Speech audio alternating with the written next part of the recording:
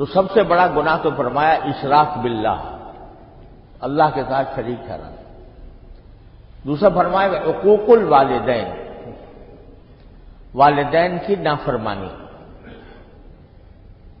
यह भी शिरक के बाद सबसे बड़ा गुनाह जो करार दिया, वो वालदेन की नाफरमानी। वालदेन का दिल दुखाना।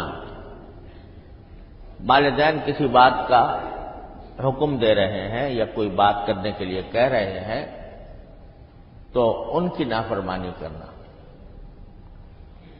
और ज़ाहिर है कि इससे मुराद यह है कि वालदेन कोई ऐसी बात कह रहे हैं कि जो गुनाह का काम नहीं है। वालदेन अगर गुनाह का काम कहें तो फिर वालदेन की नाफरमानी करनी होगी जाए वाजिब होगी। क्योंकि लातात मखलूक फ़ी माफियत खालिक। बारी ताला खालिक के मुकाबले में खालिक की नाफरमानी करके किसी मखलूक की फरमा बरदारी ये नहीं लेकिन मुराद यह है कि वालदेन अगर किसी ऐसे काम का हुक्म दे रहे हैं कि जो जायज़ है, कोई गुनाह नहीं है, उसमें उनकी फरमा बरदारी वाजिब है। और अगर उनकी नाफरमानी करे तो ये शिरक के बाद सबसे बड़ा गुना है। अरे आगे बिल्ला हदीस में आता है कि एक मरतबा दो सहाबी आए नबी करीम सल्लल्लाहु की खिदमत में। वो नौजवान थे। उन्होंने आकर कहा कि, या रसोल्लाह हम जिहाद के शौक में आए हैं।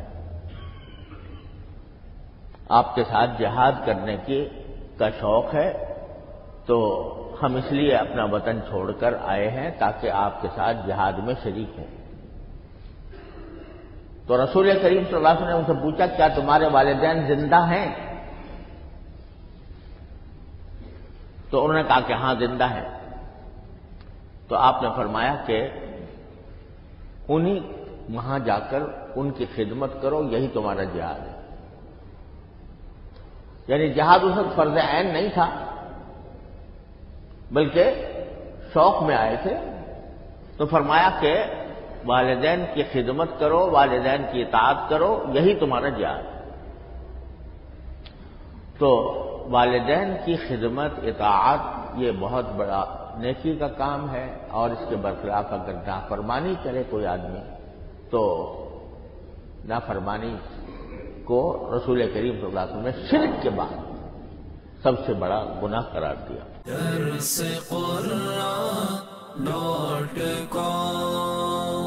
www.dasquran.com